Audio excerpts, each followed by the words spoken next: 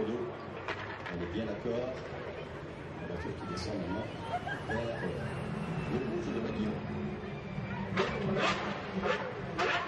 Ah, vous Améliorer les lignes super aérodynamiques de la voiture.